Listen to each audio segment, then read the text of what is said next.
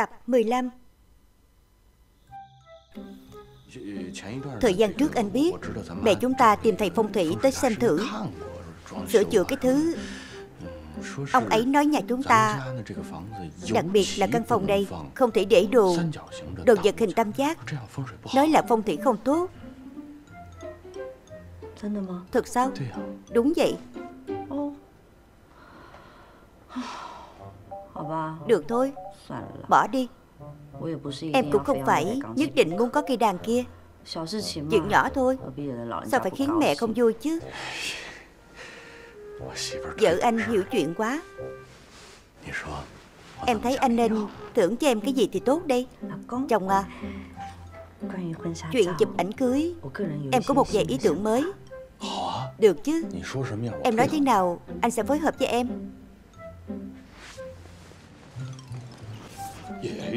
Vậy thì không được Không được. Tại sao không được chứ? Hở nhiều như vậy. Em còn chấp nhận được Mà sao anh lại không chấp nhận chứ? Xấu hổ lắm. Để người khác thấy thành ra thế nào chứ? Xấu hổ gì chứ? Anh có chụp không? Nếu anh không chụp em chụp với người khác. Cái này Với người khác. Được. Anh thua rồi. Em thắng rồi. Anh chụp. Anh chụp cùng em Được. Được, cứ quyết định như vậy nhé.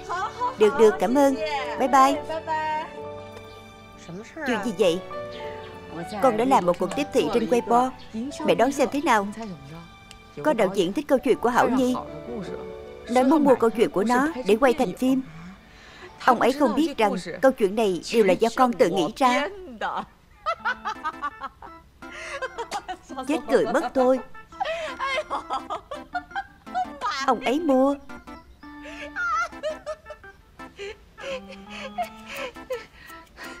Không buồn cười sao? Càng ngày mẹ càng thấy không thoải mái rồi. Nếu để Giang Ngọc biết được chuyện này Phải làm sao? Chúng ta chỉ muốn tốt cho chúng tôi. Sợ gì chứ? Con nói mẹ nghe nhé. Mẹ xem chuyện này mấy ngày nay con làm nè. Quyết định thiệp mời rồi. Giày cưới chốt rồi. Quan trọng nhất là chụp ảnh cưới cũng chốt rồi Sáng nay mẹ nghe hai đứa nói chuyện. Hình như sáng nay đi chụp ảnh cưới đó. Cái gì? Không được. Chúng phải tới chỗ con chọn Vừa không để ý để xảy ra chuyện rồi.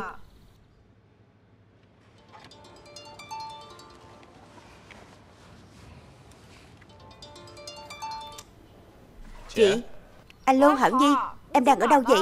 Em chụp ảnh cưới Sao không nói với chị một tiếng chứ? Tại sao phải nói chuyện này với chị chứ Các em ở đâu? Tiệm váy cưới Stephen Tri Paris. Sao vậy? Váy cưới Paris không được. Chị nói các em nghe. Chị đã chọn một chỗ cho các em rồi. Chỗ kia còn giảm 50% Em đừng chọn nữa. Em Bỏ Bỏ đi tốt. Nó cướp máy của con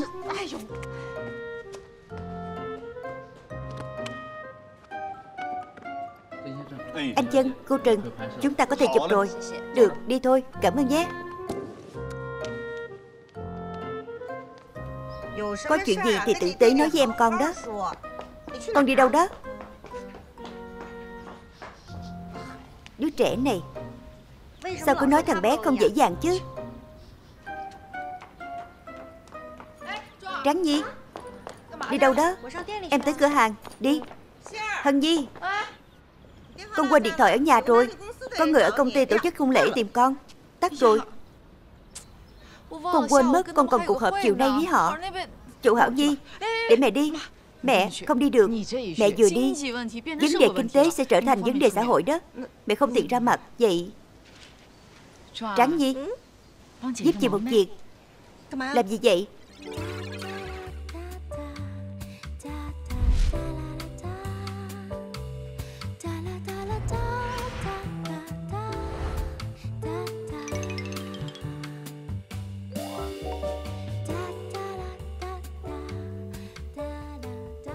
Tiểu Tráng, Con làm gì vậy, Cửa hàng đang bận mà. Cái gì? Con, Sao con lại như vậy chứ? Vì mẹ phải quay về cửa hàng, Con cũng thật là Cô ấy kêu con đi, Con cũng đi sao? Sao thế em dâu?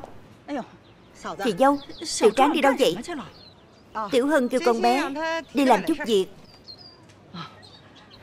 Tiểu tráng nhà chúng em Cũng rất có giá trị lợi dụng. Sao em lại nói như vậy chứ? Nếu khiến con gái nuôi của ta vất vả Lát nữa ta sẽ mời con bé đi ăn cơm. Được rồi, được rồi. Em cũng chỉ là nói như vậy thôi Chỉ đừng để trong lòng. Chị dâu Vậy rút cuộc tiểu tráng đi làm gì vậy?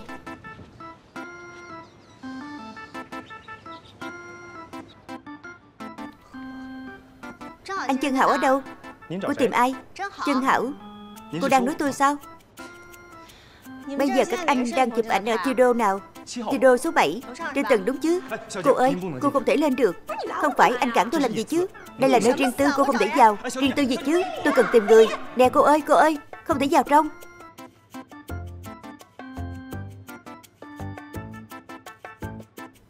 Chân Hảo chân Hảo cô không thể vào. Cô không thể vào trong. Em làm gì vậy? Không phải hai người làm gì vậy chứ? Còn chẳng mặc quần áo nữa. Ban ngày ban mặt làm cái trò gì vậy hả? Không phải Sao cô ấy lại ở đây chứ? Sao anh biết được cô ấy lại ở đây chứ? Hai người đừng hỏi tôi ở đây làm gì nữa, Mặc quần áo vào trước đi. Xin lỗi cô Tống, Đây là chồng tôi. Tôi thích chụp kiểu gì Thì liên quan gì tới cô chứ? Cô không mời bà tới, Tôi có thể gọi người đuổi cô ra ngoài đó. Cô Trần, Cô đừng tưởng tôi muốn tới. Chị Hân kêu tôi tới đây đó, Tôi phải cản hai người lại. Hai người tiêu tiền vô ích rồi, Đừng phí lời nữa Mang bao quần áo vào đi. Mắc mặt quá, Tránh ra. Gọi điện cho chị gái anh, Ngay lập tức.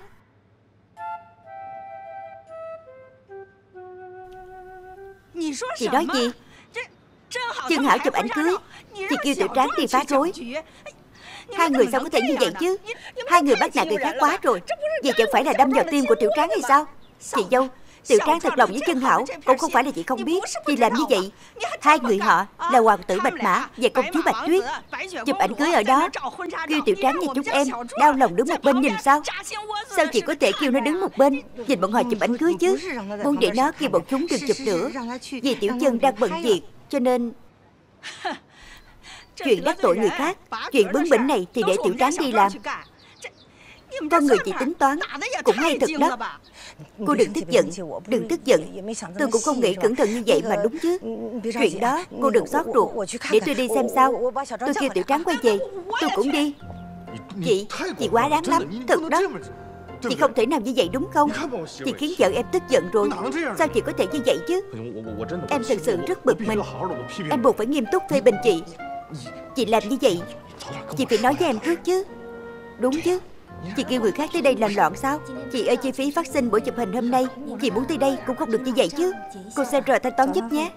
Tìm anh ta, Người đang nói chuyện điện thoại. Phải, Chẳng phải em nói với chị có chuyện gì. Xin chào, thưa anh. Buổi chụp hình hôm nay của chúng ta Phát sinh một chi phí. Cô đợi một lát. Cái gì cái gì? Em biết mà, phải. Khung cảnh thật đẹp. Tiểu Tráng Tiểu Tráng. Mẹ tới rồi, Lát nữa rồi nói. Tráng Nhi, Có ai bắt nạt con không? Thiếm mà. Thiếm nghĩ nhiều thật đó. Di Hảo, Anh không chụp đâu. Lấy ra mẹ xem xem. Đúng vậy, Đưa cho mẹ nuôi xem đi. Bị phá rối rồi, Vẫn chưa chụp xong. Tốt quá rồi, Là như vậy. Chị con đã tìm một chỗ cho con rồi. Hay là chúng ta tới chỗ chị chụp đi. Không ai làm như vậy cả. Giờ con thích chỗ này. Sao vậy chứ, đúng không? Chị ấy tìm, Thì chị ấy chụp đi. Con qua đây cho mẹ. Giang Ngọc, Con xem chuyện ầm ĩ như vậy. Mẹ biết Con thích váy cưới, Chụp ảnh ở quán này. Mẹ cũng thấy chỗ này rất tốt. Nhưng mà chị con tìm được chỗ khác. Con xem chị con hơn 30 tuổi rồi, Vẫn còn chưa kết hôn. Bận rộn lo liệu cho em trai trước. Nếu không đi Mẹ sợ là sẽ tổn thương con bé. Không sao không sao Nếu con thích chỗ cửa hàng này Thì con cứ chụp ở đây. Mẹ đi tổn thương nó. Mẹ đi mẹ Mẹ à Đừng Mẹ đừng đi. Nói tổn thương chị ấy nghiêm trọng quá rồi. Không sao đâu mẹ. Con cũng không nhất định phải chụp ở đây. Chị ấy có lòng như vậy thì cứ để chị ấy sắp xếp đi. Chụp đẹp là được rồi. Giang Ngọc đúng là đứa trẻ ngoan Hiểu chuyện Đi thôi. Mẹ à Phải tranh thủ thôi. Quyết định như vậy nhé Mẹ nuôi. Tráng Nhi Con quay lại cho mẹ. Con có nghe rõ lời mẹ nói với con hồi nãy không? Nghe thấy rồi.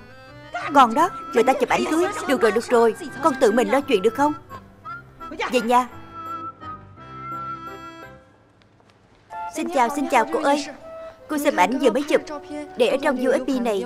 Hay là cô thanh toán trước đi được không? Ảnh chụp của họ không mặc quần áo. Cô đòi tiền tôi sao? Nực cười Bao nhiêu tiền?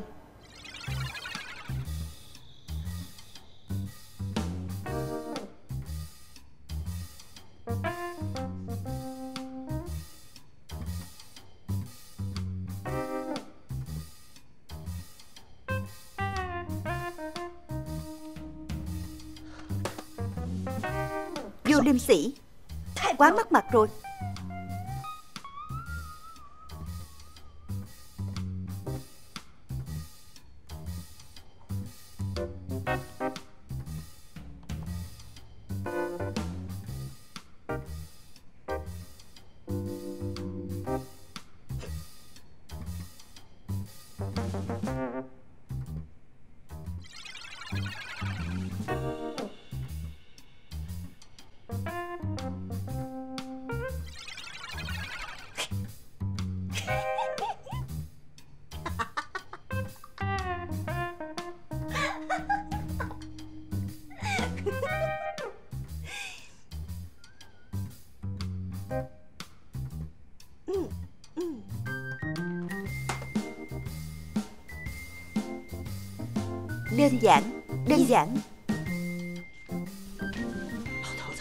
Hôm nay tôi mới nhìn kỹ.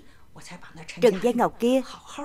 Và đừng nói Con gái Đài Bắc người ta Khác hẳn so với con gái Bắc Kinh chúng ta.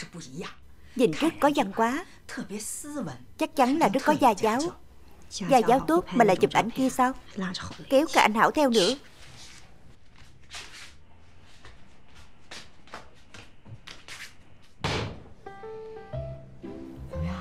Thế nào? Chụp ảnh chỗ này rất được. Nhiều ngôi sao chụp ở chỗ này lắm đó. Ngôi sao thì sao chứ? Chính là mấy ngôi sao kia đó. Hai em chụp ở đây chắc chắn đẹp hơn họ. Giang Ngọc, em thử xem đi. Trong đó có 5 loại phong cách. Có thể tùy em lựa chọn.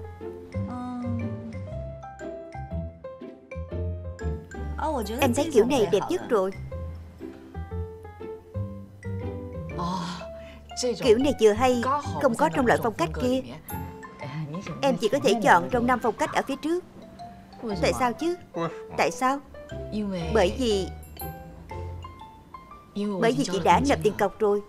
Ký hợp đồng không thể nào trả lại. Quy định lạ kỳ như vậy. Nộp tiền cọc rồi thì không thể trả lại sao? Bởi vì Lúc đó họ đang có hoạt động khuyến mãi. Chị thấy rất hợp lý Nên đã đặt cọc giúp hai em rồi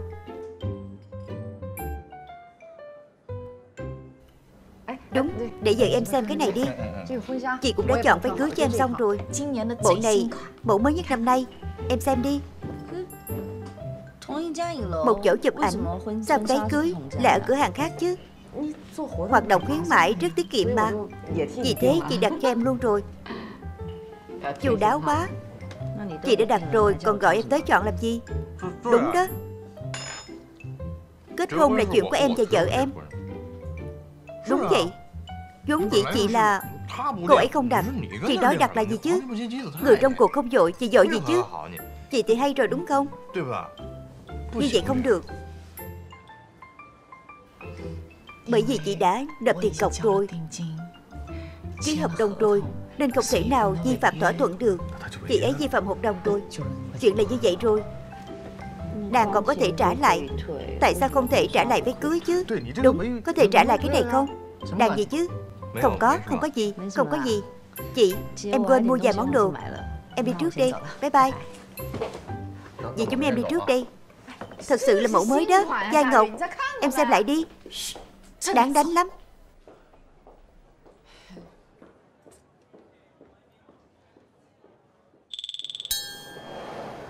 Thực ra chỉ là chuyện váy cưới thôi Đúng chứ?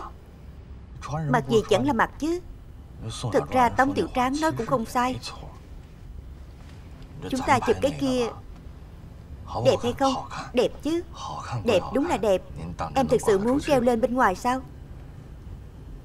Bây giờ cái này cũng tốt mà. Thêm một chuyện chỉ bằng bớt đi một chuyện. Chị anh cũng có lòng tốt đúng chứ? Em không nói chị ấy không tốt. Nhưng dù sao đây là hôn lễ của em Chứ không phải là hôn lễ của chị ấy. Sao chị ấy có thể lo liệu tất cả như vậy chứ? Mẹ anh muốn lo nhà cửa. Chị anh muốn lo váy cưới Đến cả tổng tiểu tráng kia Cũng muốn chen chân vào. Có làm rõ hay không chứ? Là em, là em kết hôn. Là em kết hôn được chưa Phải anh biết. Nhưng nói như vậy đi. Em phải nghĩ như vậy. Nói tới Đài Bắc Tới nhà các em thì bớt lo Thì dừng lại rồi. Cũng hiếm thấy đúng chứ? Nhìn một chút đi Mọi thứ đều là biểu hiện của tình yêu. Tống Tiểu Tráng cũng là biểu hiện của tình yêu sao? Em nhắc tới cô ấy làm gì chứ? Cô ấy tốt hay xấu Không liên quan gì tới anh hết Rốt cuộc chị gái anh có chú ý xấu xa gì chứ?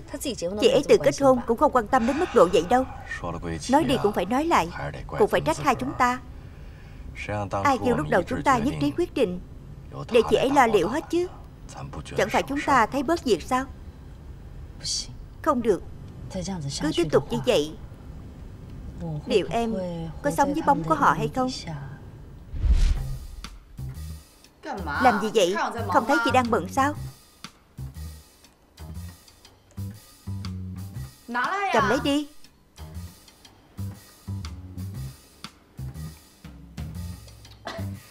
Trà gì vậy? Đổi mới đi. Ngốc nghếch dụng gì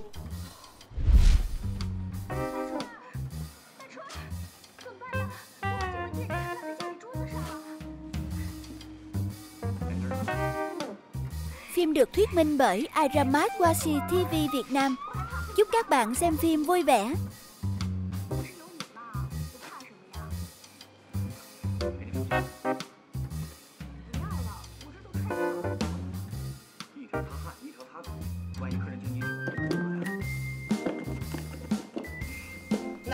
Cầm lấy đi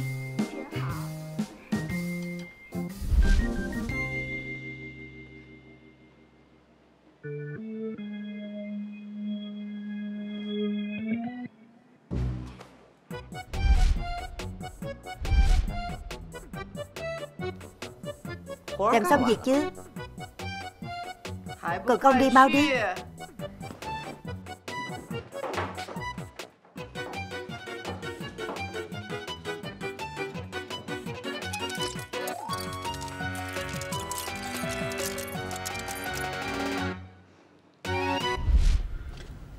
Sợ quá. Thật sự đáng sợ rồi. Không được Không thể để chuyện gì. Cũng để hậu quản được. Chẳng phải là chuyện váy cưới thôi sao? Bây giờ cũng là rất tốt mà. Không được. Em không thể Để bọn họ chi phối cuộc sống. của em.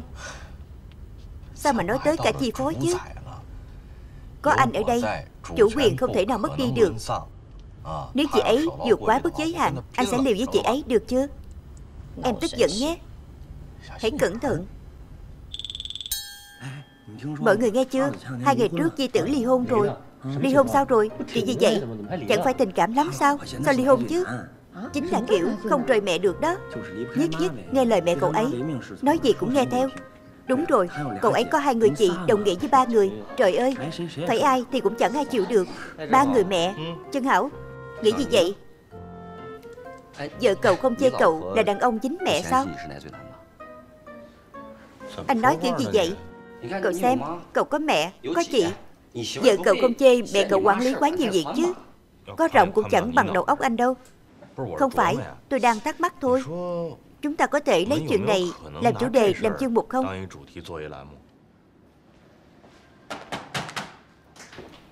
Xem kìa Xem kìa. Xem chân hảo người ta kìa. Lúc tám chuyện linh tinh Cũng không quên công việc chính.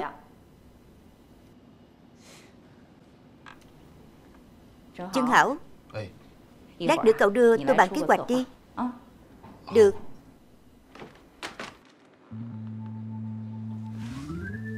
Quần áo khô rồi. Mẹ mang tới cho con đây. Mẹ chân cảm ơn mẹ. Chọn váy cưới thế nào? Có cái nào hài lòng không? Vì không có cái nào đặc biệt hài lòng. Nên con muốn tự mình thiết kế. Nhưng thực ra con không có ý tưởng gì cả Dễ đẹp lắm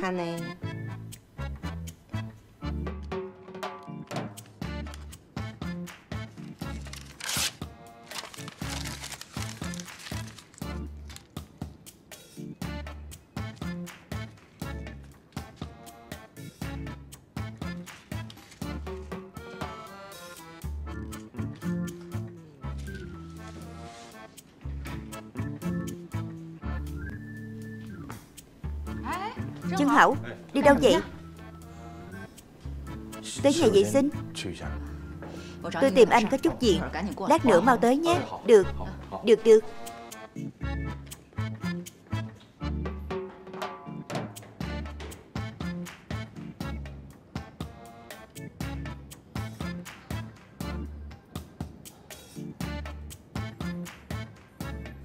Vợ à Đừng giận anh nữa. Chuyện váy cưới Người ta cũng chỉ muốn tốt cho mình thôi. Đừng tức giận nữa có được không?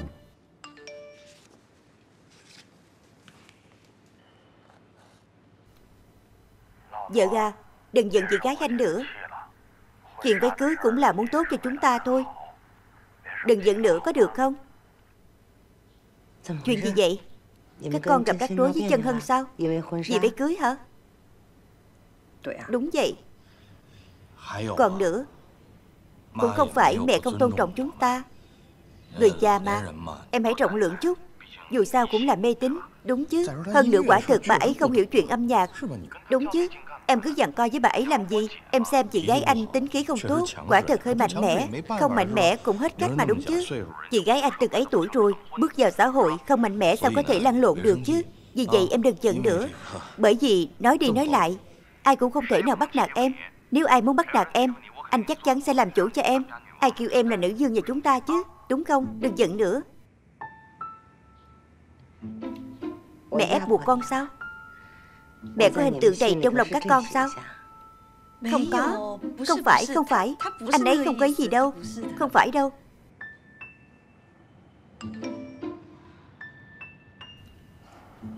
Con nói chưa đủ sao?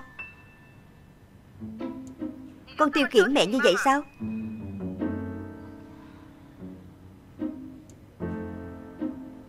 Con Mẹ.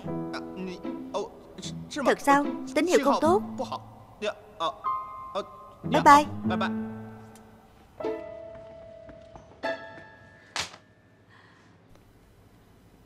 Nói mẹ không hiểu âm nhạc. Mẹ từng hát kịch cách mạng đó. Sao mẹ lại không hiểu âm nhạc chứ? Đúng vậy. Sao mẹ có thể không hiểu âm nhạc chứ? Mẹ cũng từng hát kịch âm nhạc đó. Ca kịch cách mạng là gì vậy Ca kịch cách mạng hay lắm. Có Hồng đăng ký nè. Bạch mau nữ nè. Trí tử huy ổ sơn nè. Không nói cái này nữa. Con cũng không hiểu. Có chuyện gì chúng ta có thể đối mặt. Nói rõ ràng mọi chuyện. Không cần phải nói như vậy sau lưng. Đều là người một nhà với nhau cả. Có chuyện gì không nói được chứ? Đúng đúng. Có phải con trách mẹ trả lại đàn không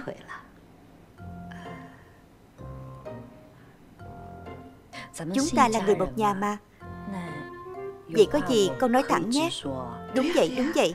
Mẹ có thể nghe người khác nói thật được. Nói đi. Thực ra con thấy, Ở các người phương Tây, Thực ra Rất phổ biến vấn đề tâm lý. Mẹ đừng thấy khó mở lời. Con có thể đi khám cùng mẹ. Ý con là mẹ có vấn đề về tâm lý sao? Ý con là mẹ có vấn đề về tâm lý sao? Tức là muốn nói. Mẹ là kẻ thần kinh sao? Không không không Con không nói mẹ mắc bệnh thần kinh Là do chân Hảo nói. Không không Chân Hảo không nói mẹ mắc bệnh thần kinh. Ý của anh ấy là Có thể Một phần nào đó Mắc chứng ẩm ảnh Tiết kiệm tiền. Còn có một chút Quá mức mê tín. Có thể có Một chút ham muốn Kiểm soát quá mức có thể có lẽ Mẹ cần một chút chỉ dẫn tâm lý. Không phải con nói mẹ mắc bệnh thần kinh. Mẹ tiết kiệm tiền, Còn tiết kiệm ra vài chuyện không phải rồi. Ăn không nghèo, Mặc không nghèo. Tính toán không kỹ sẽ bị nghèo. Sao sống mà không thể tính toán được chứ? Sao có thể thành chứng ám ảnh chứ? Bởi vì Chân Hảo nói Mẹ thấy nhà không thể nào bày đàn piano hình tam giác. Cái gì mà ảnh hưởng phong thủy? Mẹ nói lúc nào chứ? Sao Chân Hảo lại nói linh tinh như vậy? Vậy mà dám nói trước mặt mẹ mình rằng Nghe theo anh ấy hết. Chân Hảo chết tiệt Đợi đó. Vậy là dám nói với vợ rằng Mình mắc bệnh chứng ám ảnh Mà còn mê tín. Nhóc con Đợi con về rồi tính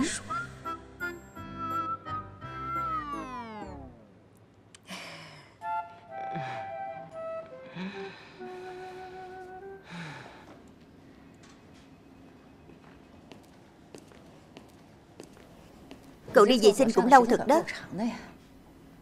Tôi còn tưởng cậu rơi xuống đó luôn rồi. Được rồi Mau qua đây đi. Tôi có chút chuyện muốn tìm cậu. Giai Ngọc Thực ra con người mẹ Rất dễ tiếp thu ý kiến của người khác Bởi vì mẹ là người rất thoải mái. Mẹ thấy giữa người với người có điều khác biệt. Quan trọng là phải giao tiếp với nhau. Nói chuyện xong rồi Thì vấn đề cũng không còn là vấn đề nữa. Đúng đúng, mẹ nói đúng lắm. Ham muốn kiểm soát là chuyện gì vậy? Ham muốn kiểm soát. Ham muốn kiểm soát gì chứ? Không có mà. Con mới nói mà. Con vừa mới nói sao? Con không có nói. Con nói lúc nào chứ? Không thể nào không có. Lúc nãy con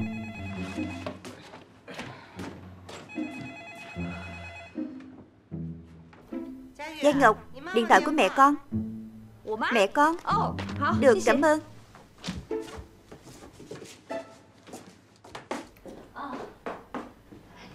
Cảm ơn mẹ chân. Alo? Mẹ? Giang Ngọc, Mẹ nói con nghe. Con còn nhớ gì Lý không? Chính là bạn tốt, Từ lớn tới nhỏ của mẹ đó. Con biết cái gì bà ấy cũng thích so sánh với mẹ Lúc nhỏ so việc học hành với mẹ Lớn lên rồi So bạn trai So chồng với mẹ Bây giờ lại so sánh con gái với mẹ Mẹ nói con nghe Hôn lễ của con Nhất định không được thua con gái bà ấy biết chưa？Con biết rồi。Giang Ngọc à Sao nghe giọng con nói Có vẻ không vui lắm vậy？Họ đối xử với con không tốt sao Không có Vậy thì được rồi Đúng rồi Đúng rồi. đúng rồi. Con chọn xong váy cưới chưa Con nhớ phải hào qua một chút. Còn nữa Con không được dùng đồ trang sức giả. Mặt dì Lý kia tin lắm đó. Nếu nhỡ như bà ấy phát hiện ra Con dùng đồ trang sức giả Cả đời này mới không thể nào ngóc đầu lên được đó. Con tuyệt đối không được làm mẹ mất mặt đó. Có biết chưa? Con biết rồi. Mẹ, chút nữa con gọi lại cho mẹ được không? Được, con biết rồi, tạm biệt. Alo, alo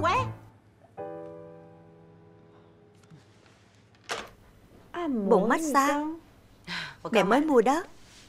Chẳng phải lần trước mẹ nói không mua nữa sao? Hôm đi ngâm nước nóng Mẹ thấy con vui vẻ như vậy. Mẹ đã nghĩ muốn mua thì cứ mua. Cũng không cần mua loại đắt như vậy đâu. Muốn mua thì mua loại tốt chứ. Thứ này bị cấm Không dễ hỏng đâu. Cho nên Giang Ngọc à Không phải mẹ nói mọi thứ không được tiêu tiền. Chỉ là việc tiêu tiền phải có ích mới được Cảm ơn mẹ chân Người một nhà cảm ơn gì chứ? Như là hai người ngoài vậy.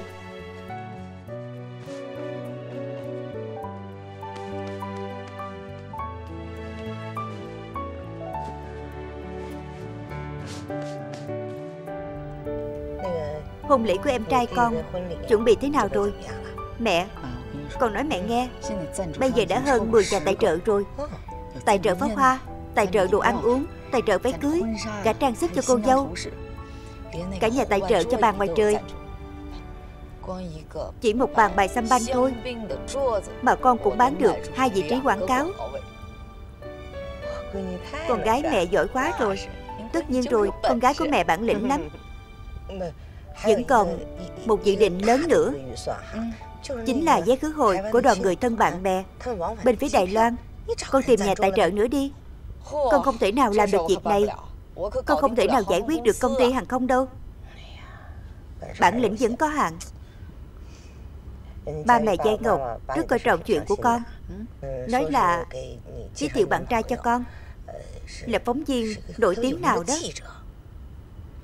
Đẹp trai không Không biết Dù sao cũng nói là giống như ngôi sao điện ảnh Được sao Hai con nói chuyện với nhau thử xem sao Được không ngờ nhà họ hiểu chuyện như vậy. Coi như con không làm công không. Chuyện đó Giai Ngọc còn đang giận con nữa. Con bé nói Muốn tự chọn váy cưới. Chúng nghi ngờ thứ con chọn không phải là váy cưới. Mẹ, thật sự không phải. Con chọn mẫu mới nhất năm nay cho con bé đó. Được, được, được, lát nữa sẽ thấy. Lát nữa là thấy rồi. Thật là tính con đó. Chậm thôi, mẹ vợ con sợ chết mất. Trời ơi, mẹ ngồi xe con có thể mắc bệnh tim đó. Em sắp chui xuống mấy khe nước trên mặt đất rồi. Không ngờ mẹ lại mua cho em Bồn tắm đắt như vậy. Em ngại quá đi mất. Thấy rồi chứ? Hoàn toàn là tình yêu đó. Em xem mẹ anh Bà chủ lưu keo kiệt như vậy Bà có thể bỏ ra số tiền lớn như vậy cho em. Bà ấy tốt với em như vậy Khiến anh còn thấy đối kỵ nữa nhưng em không thể nào hiểu nổi. Bồn tắm tốt như vậy Mà bà ấy cũng mua. Tại sao lại không mua đàn chứ? Vẫn có sự khác biệt trong cái giống nhau mà. Sau này hai chúng ta có nhà riêng rồi. Anh sẽ mua hai cây đàn cho em có được không? Một cái cho em chơi, Một cái cho em tắm, Rồi giặt quần áo luôn. Cho em để giày, Mọi thứ linh tinh này được không? Không nói cái này nữa. Chồng à anh thấy lúc chúng ta đám cưới, Thật sự không mời cô lớn tới sao? Chuyện này rất phức tạp. Em vẫn chưa hiểu hết Những chuyện của họ hàng nhà anh. Chẳng phải là vì chuyện tranh chấp tài sản sao? Em thấy Cô ấy cho chúng ta lì xì. Có nghĩa là cô ấy rất quan tâm đến chúng ta. Mọi người đều là người một nhà mà. Không cần phải vì chuyện tiền bạc Mà làm hỏng tình cảm. Lần này có thể mời họ tới. Có lẽ chúng ta có thể giải quyết điều khúc mắc trước đây đó. Em còn không hiểu mẹ anh sao. Cứng đầu gây gắt như vậy. Chắc chắn là bà ấy không đồng ý đâu. Anh mới là người không hiểu mẹ đó. Trong bà ấy dữ dằn như vậy. Thực ra em thấy bà ấy vô cùng tốt bụng. Em nhìn thấy ở chỗ nào chứ? Chỉ là mua cho em cái bồn tắm thôi mà. Em cũng dễ dụ quá rồi đó. Đây là ai vậy? Alo, xin chào Xin chào, là như vậy. Thật sự xin lỗi Lần trước anh vẫn chưa ký nhận. Chiếc USB anh cầm đi. Có thể là việc anh lúc nào rảnh Anh tới ký nhận chút không? USB Tôi không cầm mà. Không thể nào. Chúng tôi đã tận tay đưa cho bạn anh rồi. Tôi hỏi lại xem sao. Được, cảm ơn. Tạm biệt. Nói là Đưa USB cho bạn chúng ta. USB chính là chụp ảnh ở studio kia kìa. USB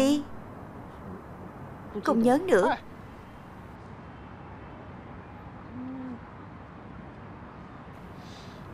Không phải chuyện to tát gì. Chỉ bằng về nhà tìm lại. Trong tay bạn. Đẹp biết bao chứ Đúng vậy Giang Ngọc cũng không xem cẩn thận Để nói không đồng ý. Chẳng phải là con chọn giúp con bé sao? Nếu như tự mua chiếc váy này tốn bao nhiêu tiền chứ? Kiểu gì chiếc váy này cũng hơn 10.000 tệ. Không được. Mẹ phải ra tay. Không có mà. Có phải bị người khác cầm rồi không không được, Để người khác nhìn thấy ra thể thống gì chứ? Đặc biệt là không thể nào để mẹ nhìn thấy, Để mẹ xem xem. Cái gì mà không thể cho mẹ xem chứ? Con nói rồi mà. Mẹ có chuyện gì vậy? Chuyện là như vậy. Chẳng phải các con có tài khoản Bán hàng trên Taobao sao? Mẹ muốn mời Giai Ngọc Làm người mẫu cho mẹ. Trương Hảo chụp giày tắm cho mẹ. Sau đó mẹ sẽ bán hàng trên mạng. Mẹ muốn làm gì? Váy cưới.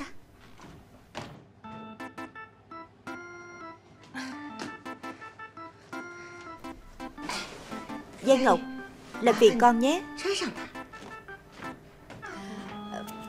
Mẹ. Cô xem chúng ta chụp ở đây được không? Không phải mẹ chụp ở đâu cũng được. Sao lại cứ phải làm chuyện này chứ? Không cần con lo, Chỉ bằng ở chỗ bể cá kia đi. Bể cá, Xem cá, xem người chứ.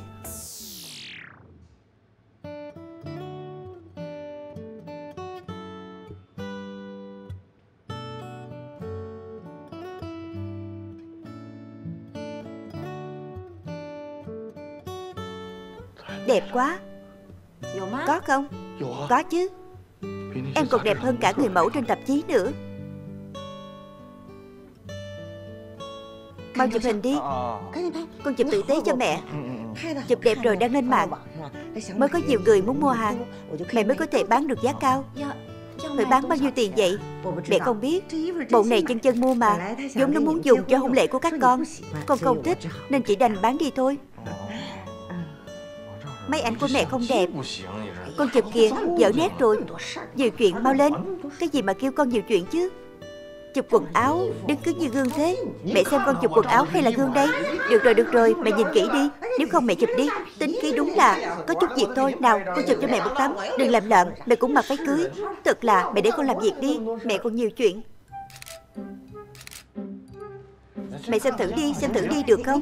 Xem đi, xem đi. Con cho Giang Ngọc đi xem. Cho Giang Ngọc xem. Mẹ xem con chụp xong rồi, mẹ không hài lòng nữa. Cái này cái kia suốt ngày. Mặc lên đúng là rất đẹp. Tấm này đẹp lắm. Giữ lại bức này đi. Được, con có thể giữ lại ảnh. Nhưng bộ váy này Mẹ phải nhanh chóng bán nó đi. Cũng không biết cô gái nào có thể mua nó. Đúng vậy. Không biết cô gái nào may mắn như vậy. May mắn gì chứ? Cô ấy cô ấy ai may mắn chứ? Mặc vào cũng chẳng đẹp bằng vợ con phải không? Phải phải phải. Đẹp thật Giang Ngọc Trần Hân thực sự vốn muốn Để cho con mặc lúc kết hôn. Nhưng mà con không thích. Không thích thì chúng ta cũng không ép con. Mau cởi ra đi. Dạ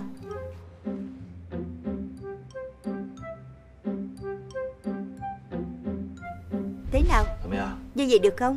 Được được đẹp thật. Vậy mẹ thấy chẳng mấy ngày sẽ bán được thôi. Mẹ nghĩ sớm sẽ bán được thôi. Con sửa lại một chút nhé. Có thể sửa lại sao? Được chứ. Ai không mắt nhìn động vào đồ của tôi thế? Thế nào? Không coi chân nghị da này ra gì phải không? Hay là trong nhà này có trộm vào chứ? Phải nghe ngóng chỗ tứ cũ thành mới được. Chân nghị da rất là dễ chọc hay sao? Tiêu rồi tiêu rồi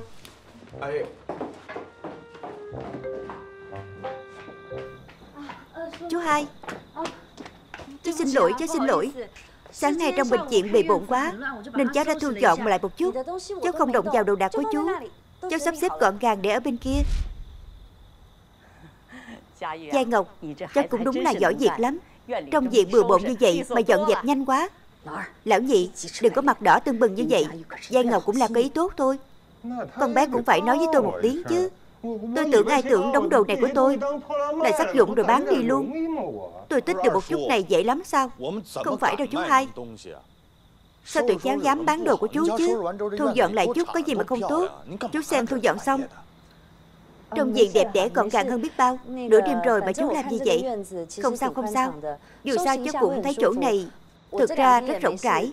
Thu dọn một chút sẽ thoải mái hơn nhiều. Hai ngày này cháu cũng rảnh rỗi Chi bằng để cháu dọn lại đi. Giang Ngọc xin lỗi cháu. Chú hai kính lệ với cháu. Thực ra không phải nhắm vào cháu đâu. Không sao cháu không để ý. Sao chứ? Nghỉ ngơi đi chú hai. Cô lớn Được đi thôi. Nghỉ ngơi sớm đi nhé. Đi thôi đi thôi. Nghỉ ngơi đi nhé. Bà xem chuyện ầm ĩ như vậy. Làm sao có nhiều thời gian như vậy chứ? Em có thời gian mà. Em bớt chút thời gian là được. Yên tâm đi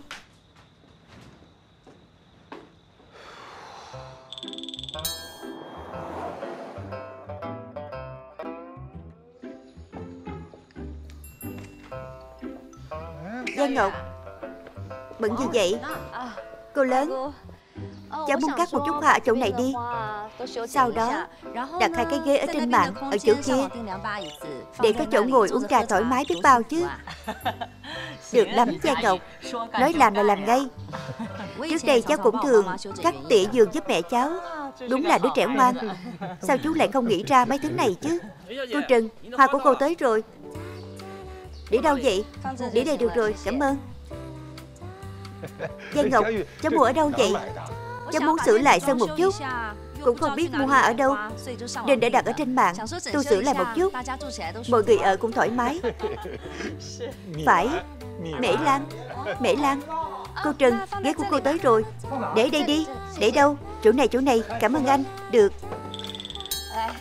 Nào Cô lớn Chú hai uống trà đi đau. Sân thay đổi rồi. Mẹ chân về rồi sao? Giang Ngọc, Con làm sao? Một mình con làm hả? Không phải cô lớn và chú hai Giúp con rất nhiều việc. Chị dâu, Đứa trẻ Giang Ngọc này Đúng là rất biết làm việc. Đã ở chỗ này Mấy chục năm rồi. Không ngờ có thể thành ra như vậy. Mẹ chân Mẹ cũng uống chén trà đi. Mẹ đang khát nữa đây.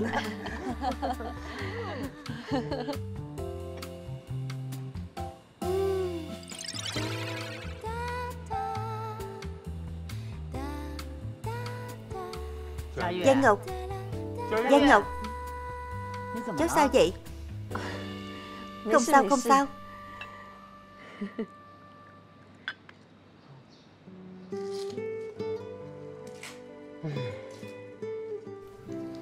Nếu con tưởng làm như vậy, Họ có thể đối xử tốt với con. Khó lắm. Con chỉ muốn nói, Nếu mọi người đã sống chung một nơi, Thì nên sắp xếp để nó thoải mái hơn một chút. Tâm trạng mọi người sẽ tốt hơn. Còn có thể tới thăm hỏi nhà đối phương. Con đúng là tốt thật. Nhưng con không biết, Đã nhiều năm ở khu nhà này, Họ thấy mẹ cũng như coi như không thấy vậy. Rốt cuộc là tại sao vậy